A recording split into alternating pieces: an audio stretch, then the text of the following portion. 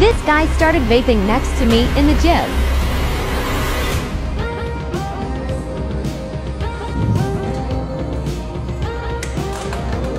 Bro, my fucking vape, are you kidding me, dude?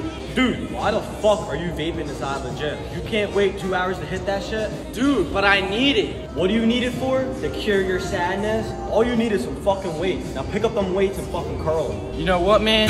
You're right. Fuck that vape.